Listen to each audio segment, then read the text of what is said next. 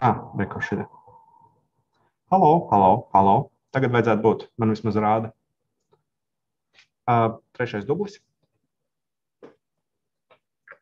Trešais dublis. Testing dictionary speech configuration.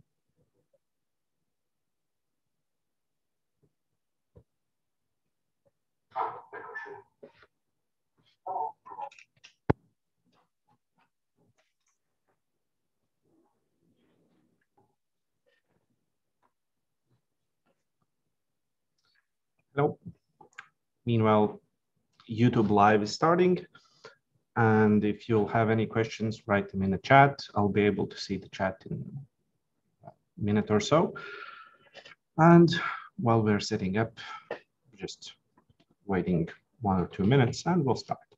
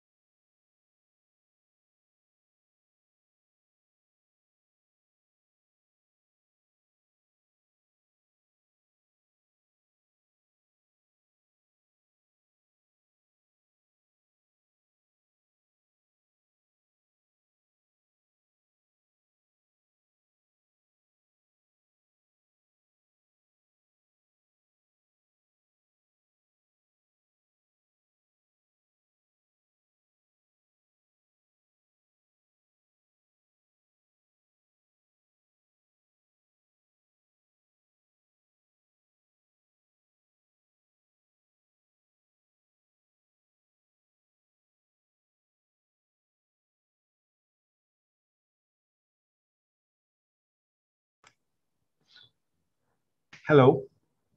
Hello, everybody. I am Vairis and today we'll talk briefly about digitalization trends in Latvia and Ventspils. If you have any questions, and I really urge you to ask questions so we have somewhat meaning discussion, uh, meaningful discussion, uh, ask them in the YouTube comment section, and I will go through them as best as I can.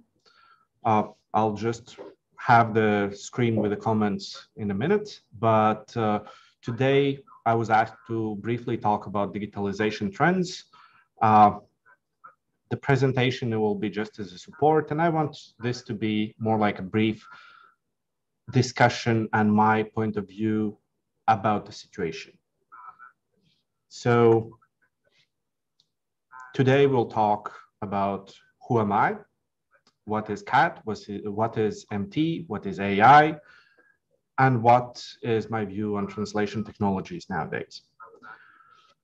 Um, it will be a brief uh, discussion, but if you have any related topics you want to ask me, feel free to do that. Um, I'll just see. Okay.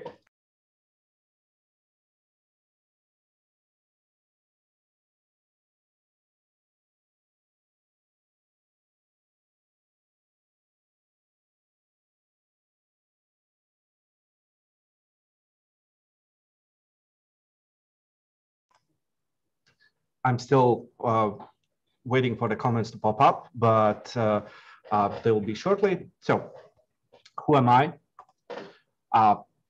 I'm Vairis Caune, and I'm an IT enthusiast since 2000.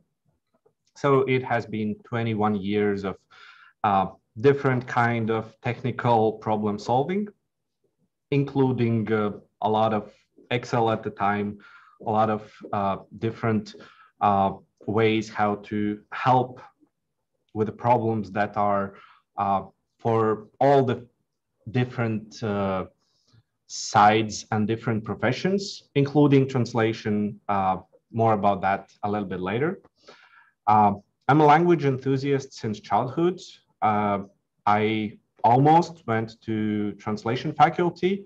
Uh, there was a choice to be made, and finally, I I chose IT, and I'm happy for it. Uh, but even though I still like to see what's happening in language domain, I like the uh, studies of etymology, how are words created, and how people learn languages.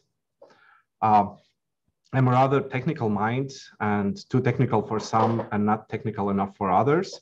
Uh, so I'm kind of in between, but I do have a lot of programming experience and I do talk, I do speak in four languages. So I have some language experience as well.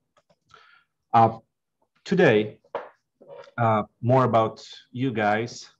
I guess a lot of you already know what CAT is. You can say in comments yes or no if you know what CAT is uh, computer assisted translation, sometimes called computer aided translation.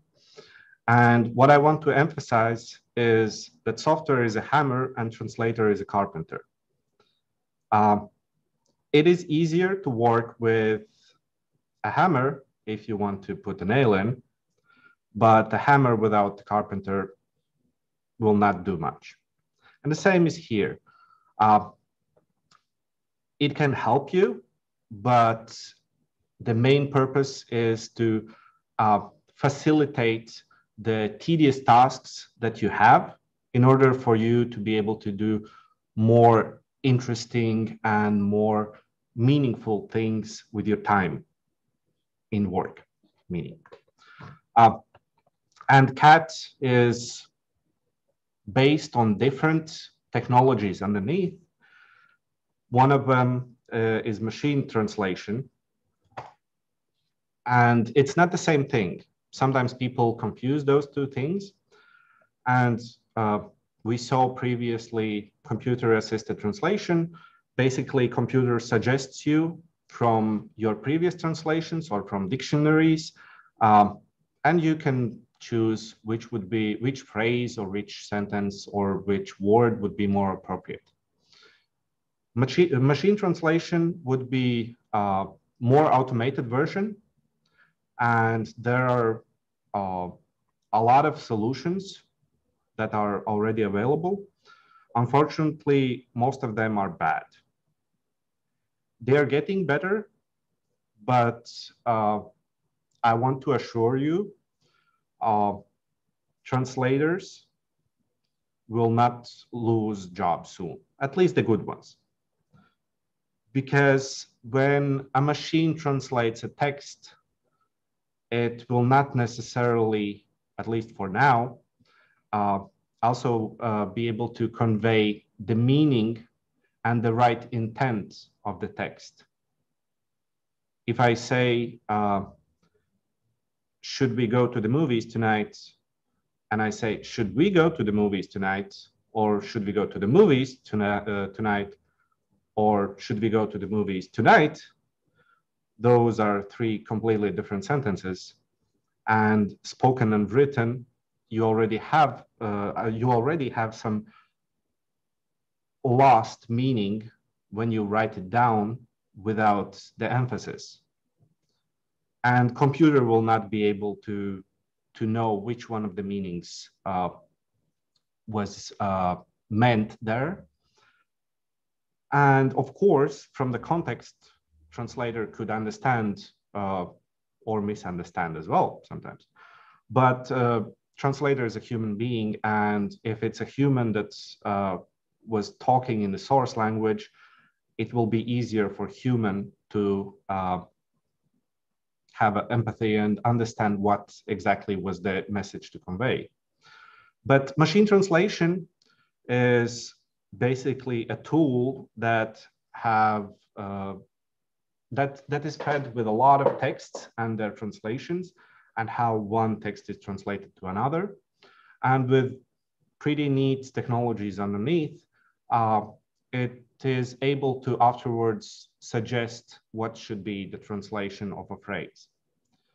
And it's often uh, misused not often but quite a lot actually and uh, recent uh, example would be uh, we had COVID pandemics, and uh, uh, you need to write different documents for different institutions, how to uh, how you will be uh, managing uh, everything, and why should you be funded, and if you just put them in machine tra machine translation directly, you would be surprised of the results because first of all, it's a text that is not usually present in the context. So you need to have uh, people who have adapted to it. And if you just use it straight away, uh, it might give you the results that are, let's say, not particularly good or meaningful. Hence, uh, translators will not lose uh, how to say, demand in the market, at least the good ones. That's my opinion. However, um, I would encourage everybody in all the domains to think about uh, what are the parts that could be automated that are tedious, but not necessarily uh, brain demanding. Uh, sorry, for lack of a better term, I, I use this one and talking with different IT specialists, you can uh, communicate and explain what are the things that you are doing now, but you don't want to do because it's tedious. And it's really important to explain the situation because IT, spe uh, IT specialists will not necessarily have the same background and knowledge well, they will not have the same background and knowledge as you do. And uh, they will be able to solve a really wide range of problems. So if they ask you, can we help you? Uh, you should really think about it and think what are those things that you think are easy and that you could explain to uh, six year old, for example, or 10 year old uh, to do take this word and put it in that column and take this word and put in that column. Uh, if you need to do that yourself, you have less time to actually work on the specifics and conveying the message rather than the technicalities. And technical forming is where computer science can help you a lot. A little bit so you have some uh,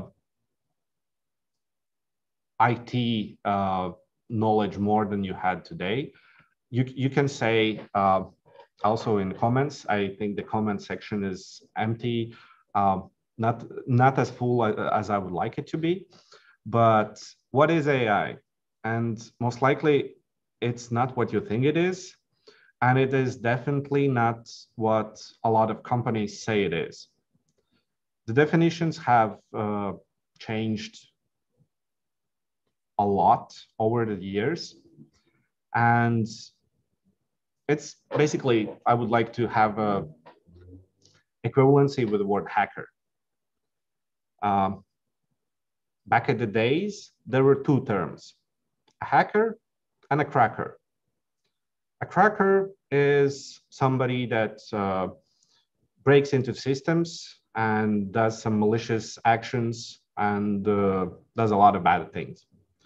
Hacker is somebody who likes to understand how things work and likes to dig and try to figure out how things work.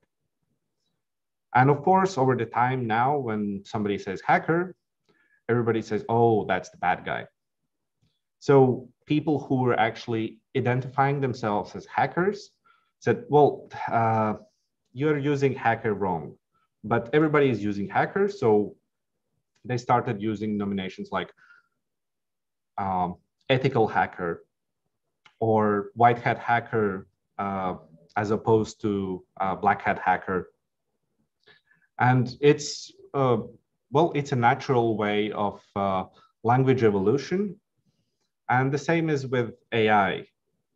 AI is uh, a broader term, which would basically mean a system that could adapt itself to uh, different problems and uh, solve them or see and identify the problems that they are not introduced, uh, they, they haven't been introduced yet.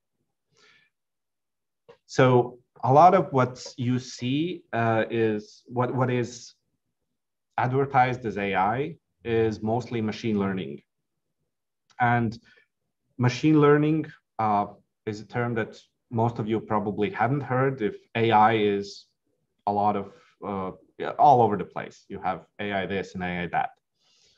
Uh, machine learning is a little more defined idea. Is you have basically a box with matrices and stuff, and you have training data. Let's say you want somebody to uh, learn arithmetics.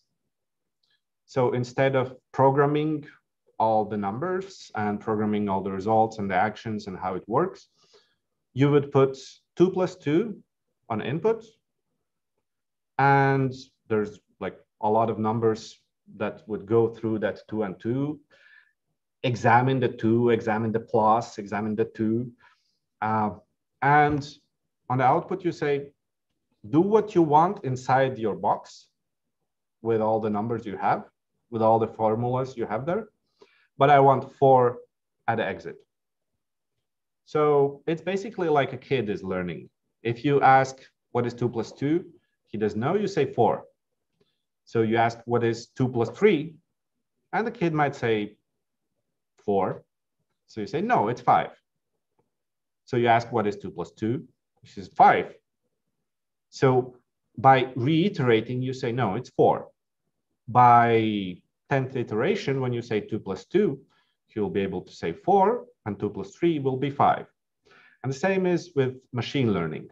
We have a lot of input data, a lot of output data, and we urge the computer to change all the parameters so that two plus two would be four and two plus three would be five. And the nice thing about it is that in that way, uh, with this approach, you can solve variety of problems. Okay, one is two plus two. But let's say you want a machine to be able to recognize triangles. If you want to describe a triangle, uh, it's a lot of work. You could say, yes, you need to find lines. You need to see that there are three of them and they are connected. Um, and triangle is a simple example. But for example, a cat, uh, that gets more complicated.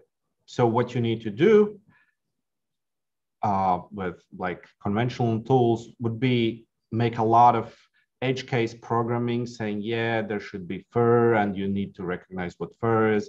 And it's a really complicated problem. And that's why like 15 years ago, uh, it was said that, yeah, no, computers cannot uh, detect if it's a cat.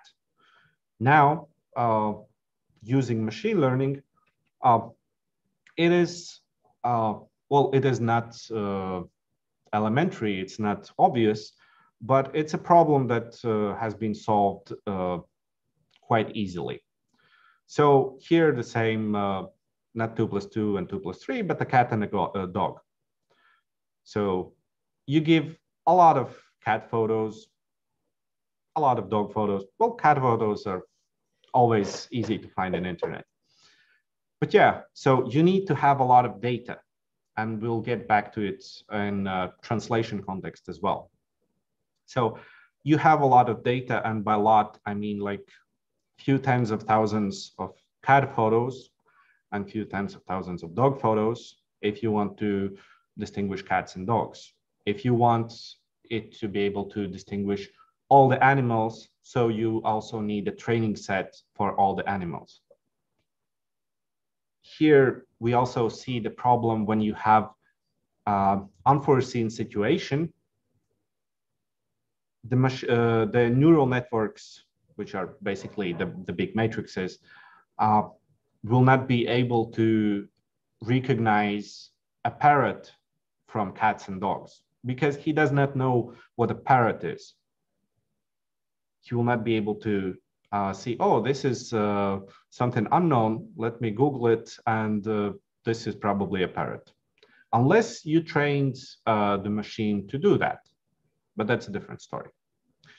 So nowadays, seeing triangles or calculations or even uh, words that are input uh, in inputs and outputs is a rather trivial problem in context of machine learning.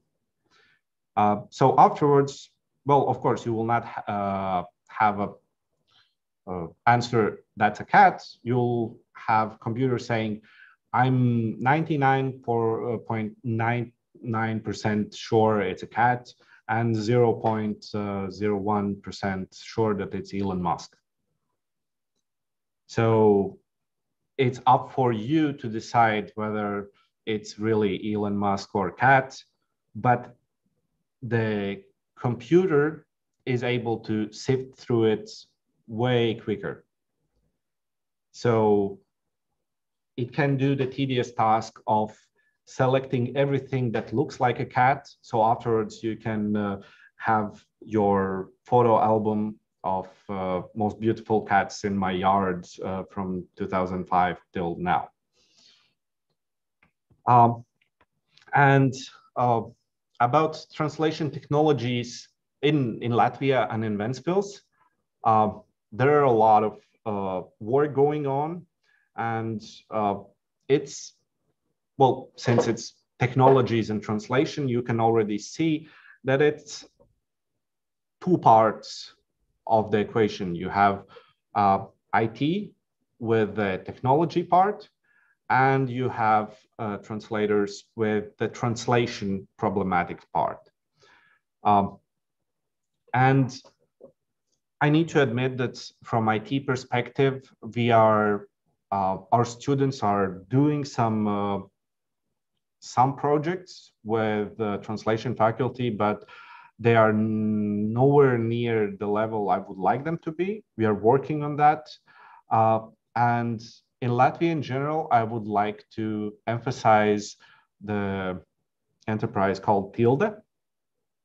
Uh, and they are doing a really great job in uh, a lot of domains connected to Latvian language. Um, and they also have their machine translation tool. And of course, uh, not everybody can use uh, all the tools that are available out there. And that's a little bit more about jurisdiction problems, but sometimes we already have the tools available, but we just don't know about them. So it's always good to ask to your professors and uh, in IT domain, I want something to translate this. Is it possible? Uh, because the research is ongoing and especially in uh, less covered languages like Latvian, it's not uh, the same route as English. And of course, in English, there, there is a ton of research done, uh, way more than in, uh, let's say, Latvian, Ukrainian, Slo Slovakian uh, languages combined. So uh, we have our uh, research going on, and Tilde is one of the uh, flagmans who is going and really developing a lot of tools. I see one of the great opportunities for the next few years uh, in translation technologies that are connected but not may, uh, may, maybe directly translation is speech synthesis and also speech recognition uh, because there are a lot of existing uh, no, a lot of existing tools and uh, possibilities in softwares for English, but they will not work good um, for different languages. And the same we go about the data. If you have, but for English language, you'll have a lot of texts recorded and transcribed. You will have them also for your local language, but not as much. And uh, there's a very uh, big problem in machine learning. Uh, if I go back, um, if you have photos of cats and one of them is a photo of dog that was wrongly labeled, it's like teaching your kids and uh, saying, and this is a desk. Well, the kid will say, okay, you sure, but okay, I will say this is a desk. If you have wrong data that you are training on, it will give really bad results. So uh, if we want the technologies for our local language to advance, we need to think about uh, how to help the uh, IT persons with the data that they need in order to be able to uh, teach neural networks or enable to better understand the problem. Uh, because IT professionals will most likely not be well versed in how the language tree is uh, constructed and how everything works and how should you disassemble a sentence in one language and then uh, convey the meaning and build the tree in another language. Uh, so those kind of data would be really helpful. And I think uh, there will be as well, uh, not a lot, but more uh, technical translate, uh, translator positions or jobs uh, that will deal with uh, preparing the data for those tools. Because uh, well, IT special, specialists have a lot of knowledge, but their knowledge would be better used in order to already solve the problem once the tree is built and uh, and using the, uh, their knowledge to do the next step. If they need to uh, spend their time doing uh, different things, they'll have less time to actually make the IT part. And well, so that would be one thing, speech th synthesis and recognition. Uh, I would, well, there, there, there is already more and more advances. There are more and more advances in the domain, uh, but I think it will uh, flourish even more. Uh, another thing that's uh, is is a translation, but is not necessarily uh, thought as, uh, as of a translation, is um, sign languages. And uh, computer is rather good at uh, detecting different positions of arms and heads and body. And we have uh, programmed different, different applications for uh, analyzing human gait and walking, uh, as well as, uh, I don't know, if they are smoking or if they are falling down. And here as well, we can make a system that will uh, recognize the gestures of word and meaning and saying what is my name is and uh, all, all the letters but in order to do that, we need data. So we need somebody that have the uh, people doing the gestures and talking in sign language, as well as that video labeled here from, from this part to this part, he's saying my or me. So we can do that step from uh, video if you have already some data from video to text of the words, but as well, it will be uh, not sufficient to convey all the messages because humans will still need to go over, but it is way easier to see the text and just go through and maybe do some small corrections compared to going through everything and writing everything down. So uh, that would be my short take on the problem. Um, I'm not sure anybody is, I have 25 people watching now and uh, I have no questions. So I would ask you, if you don't have any questions, write, I don't have any questions. So I know at least you're hearing me.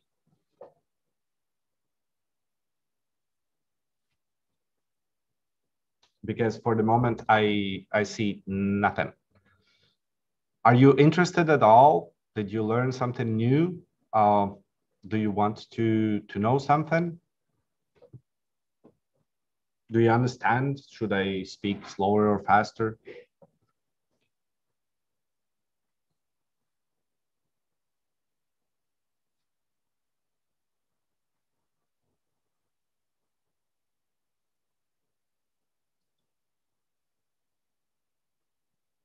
Okay, at least I have, I don't have any questions. Um, so yeah, at least I see somebody uh, yeah, how do you, uh, a good question, how do you deal with languages with only very few speakers?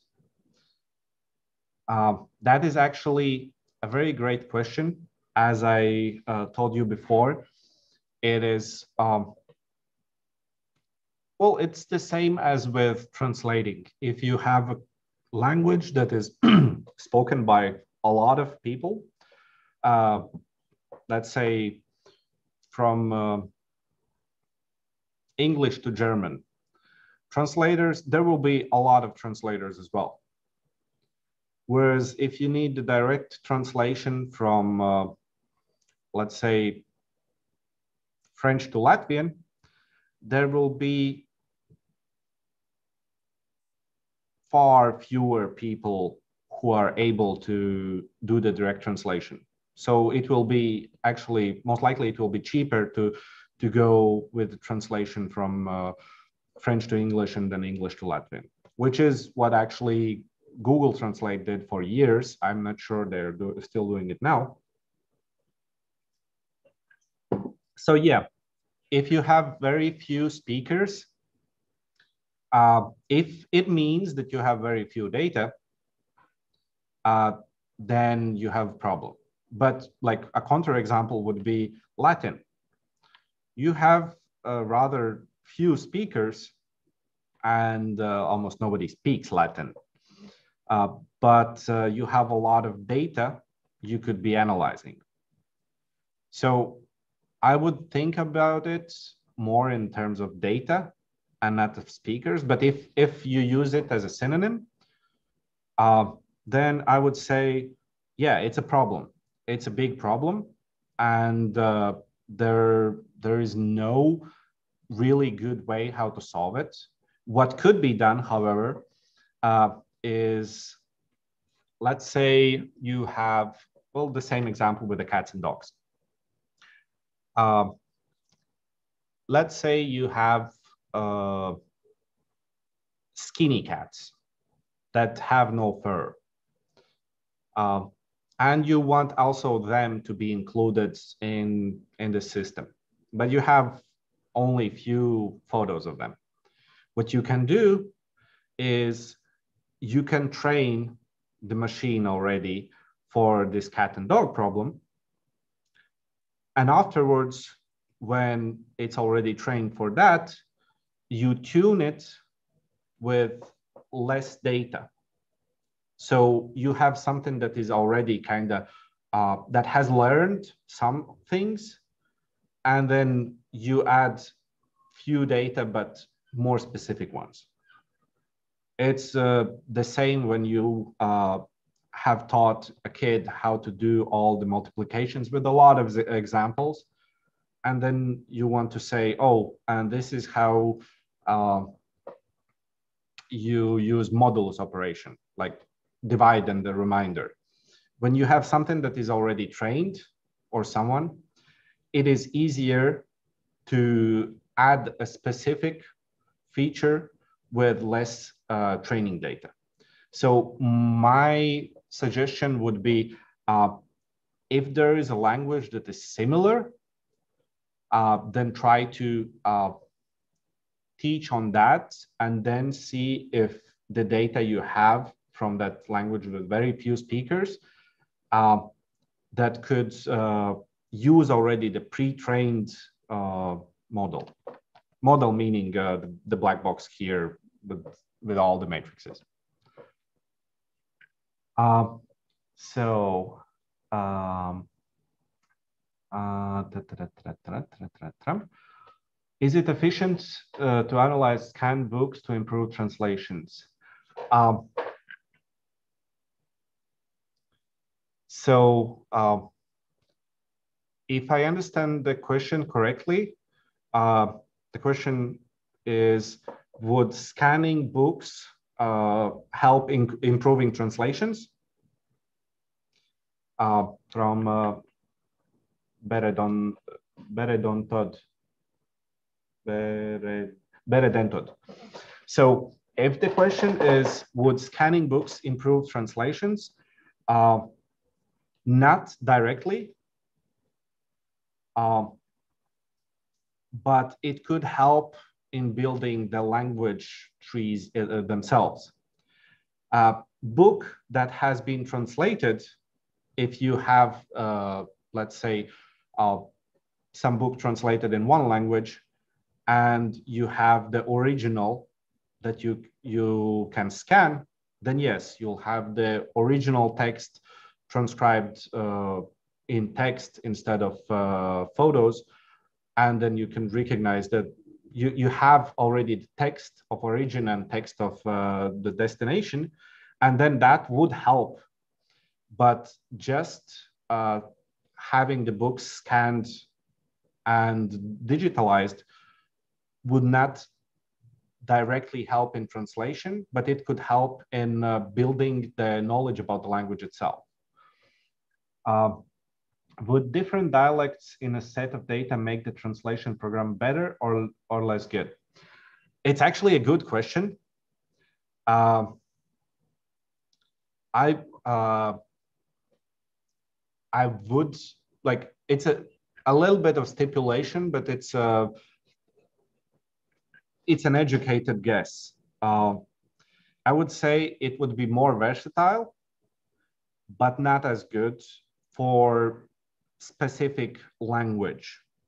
Uh, it's the same thing. Uh, like I used QWERTY for almost all my life till I went to France and I started using AZERTY, which is a different uh, keyboard layout. You have uh, Q and W switched with A and Z. You have uh, M and N switched some, uh, I think, and well, some some small changes. What happened is I started writing slower. And uh, it was painful to admit that now I write slower because I needed to actually think whether I'm using French or Latin keyboard every time I, I wrote, or QWERTY or AZERTY, not Latin necessarily.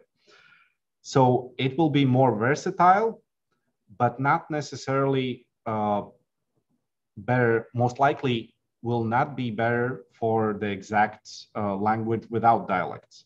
So if you train them with dialects, uh, they will most likely be able to uh, also understand dialects better.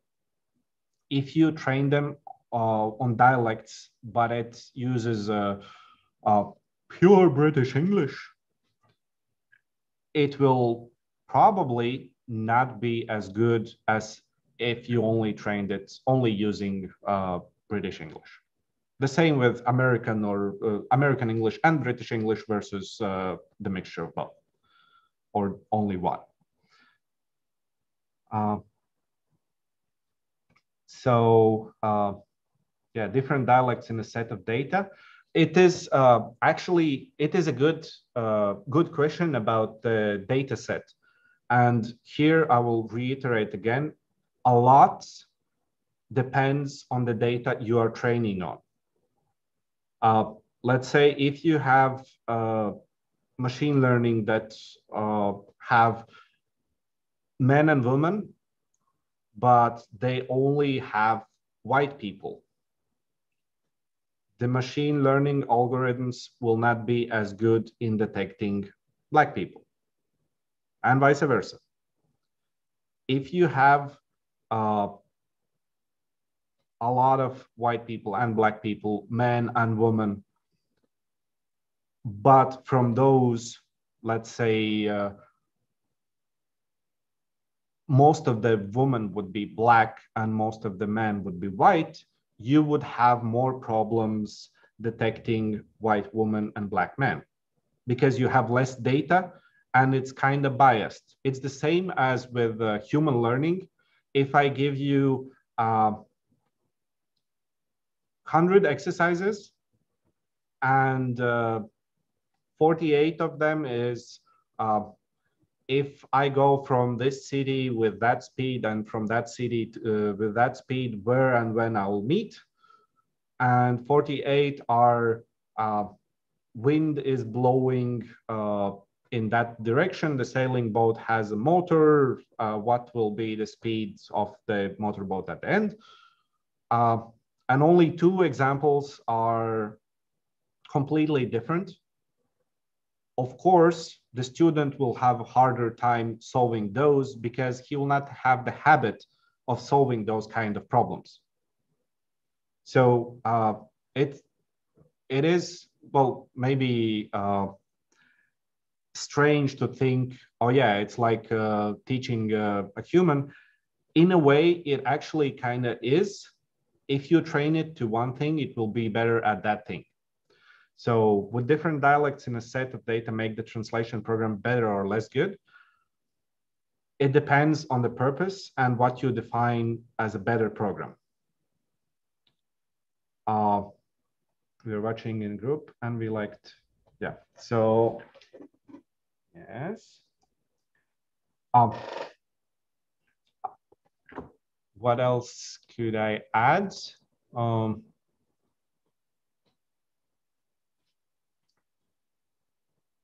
Yeah, well, that is basically all I wanted to say today. Uh, about the student works, I could add that we have uh, started do, doing some uh, gestures for uh, uh, mouth movements and uh, and hand gestures in order to to actually build translators from the gestures. And actually, it's the same problem as with everything uh, you would think that sign language in uh, Latvia, England, and the United States would be the same, which is not which is not the case. So, in order to build something like that, uh, you need somebody that actually understands the problem, the local problem, and of course, uh, some uh, pre-trained models from uh, American sign language that is used in America uh, that afterwards uh, are adjusted and uh, trained uh, more on Latvian examples would, would do better. Uh, but it's the same problem with the data. Uh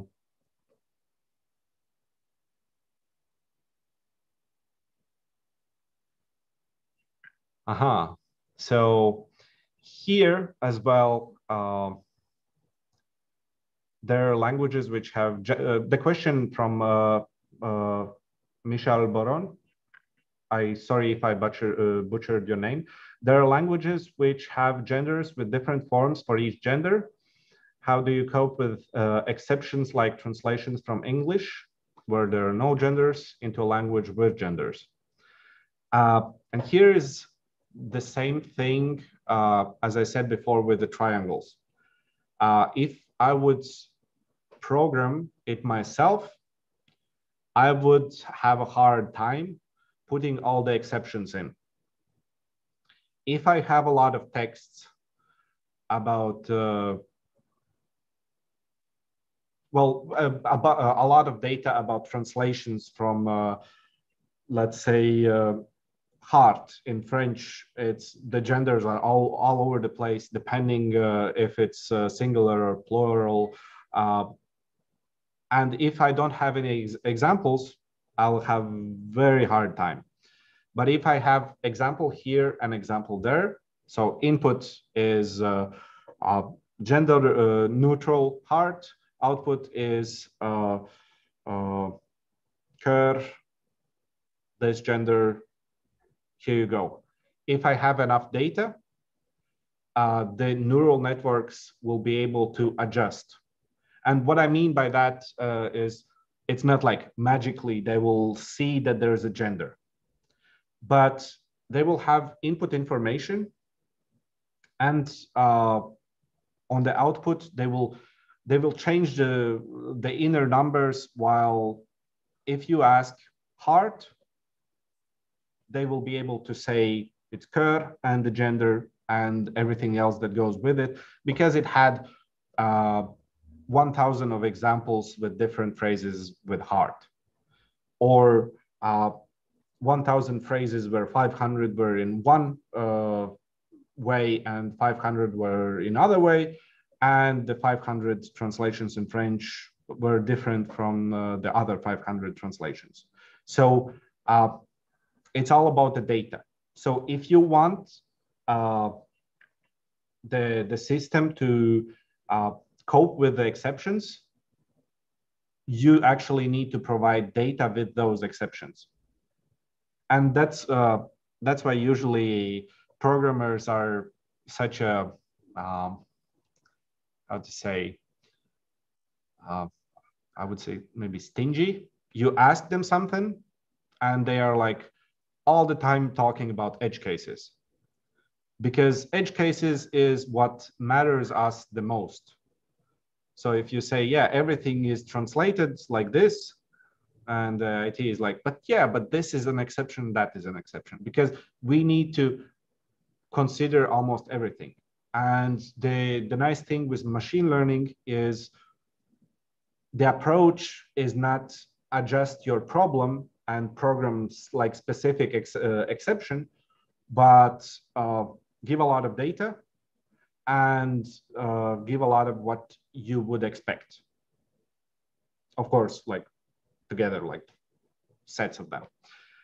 Afterwards, of course, uh, you could go through it and say, uh, if you have a machine translator that uh, uh translates from one language where there are no genders into another language, uh, my suggestion for the translation tool would be uh, it highlights the, the parts that is predefined to be highlighted. An example, when there's a passage from uh, uh, non-gender word to a gender word, highlighted for the translator to check if the gender was correctly applied. Uh, did I answer Baron's question?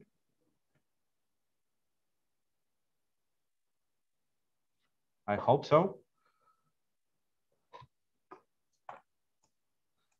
So yeah, um, quick conclusions, uh, if we go through. Uh, I do like IT and uh, I am fascinated by uh, how words are created, how languages are created and how they evolve and how can we convey the meaning of something, whether it's in the same language or different language. Uh, it also goes together uh, with answer why am I teaching? Because I like to uh, understand how I understand something and how would I explain it in maybe maybe doing a vulgarization of something, but without being uh, inco- uh, uh, incoherent against like without losing the correctness i can still simplify a lot of things and if you understand something you can also in most cases simplify what's happening. So i like to do that.